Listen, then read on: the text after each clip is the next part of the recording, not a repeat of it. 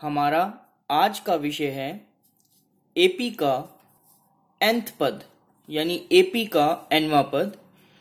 यदि हमें एक एपी दी गई हो और हमें देखना हो कि उसका एंथ पद, जैसे कि इकतीसवां पद या पंद्रहवा पद क्या है तो उसके लिए जो हमारा फॉर्मूला है वो है ए एन बराबर A plus N minus one into D जैसे मान लीजिए हमें निकालना है किसी भी एपी के लिए उसका दसवां पद। तो ये हो जाएगा ए प्लस दस माइनस एक इंटू डी और ए प्लस दस माइनस एक हो गया नौ डी इसी प्रकार से यदि हमें निकालना हो बत्तीसवां पद तो वो हो जाएगा ए प्लस इकतीस डी यदि हमें निकालना हो आठवां पद तो वो हो जाएगा ए प्लस सात डी यदि हमें निकालना हो ए सोलह तो वो हो जाएगा ए प्लस पंद्रह डी यदि हमें निकालना हो ए ट्वेंटी, यानी बीसवां पद किसी एपी का तो वो हो जाएगा ए प्लस उन्नीस डी आइए, हम इसका थोड़ा सा अभ्यास करते हैं। उससे पहले मैं एक बार आपको फिर से फार्मूला रिवाइज करवा रहा हूँ।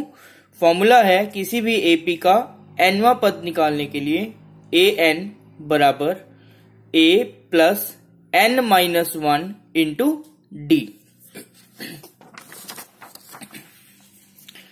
मान लीजिए हमें ये एपी दी हुई है तीन, सात, ग्यारह, पंद्रह। हमें इसका दसवां पद यानी ए दस निकालना है। फॉर्मूला है ए एन बराबर A plus N minus one into D हमें निकालना है ए दस तो ए प्लस सॉरी ए की जगह एपी का प्रथम पद, यानी तीन प्लस एन है दस माइनस एक इंटू डी है। दूसरे पद में से पहला पद निकालेंगे तो सात में से तीन निकाला, चार। तो हमारा डी है चार।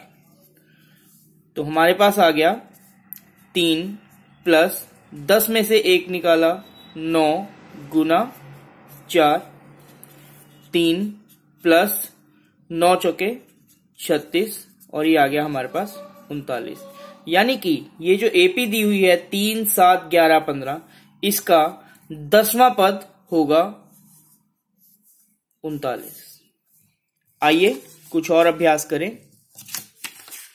हमारे पास एक एपी दी गई है पाँच, दस, पंद्रह, बीस, इस प्रकार से। हमें इस एपी का अठारवा पद निकालना है। तो ए अठारह बराबर ए एपी का प्रथम पद वो है पाँच प्लस एन एन है हमारे पास अठारह माइनस एक इंटू डी दस में से पाँच निकाला। दूसरे पद में से पहला निकालेंगे तो डी आ जाएगा। तीसरे में से दूसरा निकालेंगे तो डी आ जाएगा। चौथे में से तीसरा निकालेंगे तब भी डी आ जाएगा। तो डी आ गया है हमारे पास पाँच। ये आ गया पाँच प्लस अठारह में से एक निकाले, सतारह गुना पाँच। पाँच प्लस सतारह पांजे, पचासी। और ये आ गया हमारे पास पचासी और पाँच, नब्बे। यानी ए अठारह हमारे पास आ गया है। नब्बे। आइए एक और उदाहरण करें। एपी है माइनस ग्यारह, माइनस सतारह, माइनस तेईस, माइनस उनतीस। इसके लिए सबसे पहले मैं अलग से आपको ए बता देता हूँ। ए है प्रथम टर्म वो है माइनस ग्यारह। डी निकालेंगे हम, क्योंकि माइनस वाले सवालों में बच्चों को मुश्किल आती है। दूसरे में से पहला पद माइनस करना है तो दूसरा पद है सतारह। इसमें से माइनस करना है, पहला पद है माइनस ग्यारह। तो माइनस सतारह, माइनस माइनस, प्लस, और ये हो गया ग्यारह, प्लस माइनस माइनस, सतारह में से ग्यारह निकाले छ उत्तर, साइन बड़ी रकम का माइनस। तो डी आ गया है, माइनस छ और ए है माइनस ग्यारह। आइए, हम इसे फॉर्मूला में पुट करें। फॉर्मूला था ए एन। ए एन यानी ए तीस हमें निकालना है। तो ए ए ए है हमारे पास माइनस ग्यारह plus N minus one. N है तीस माइनस एक गुना डी। डी आया है माइनस छ तो ये हो गया माइनस ग्यारह प्लस तीस में से एक निकाला, उनतीस गुना माइनस छ माइनस ग्यारह प्लस नौ चुके चौवन हासिल आया पाँच, छह दुनी बारह और पाँच सतारह। और इसके साथ साइन आएगा plus into minus minus minus का।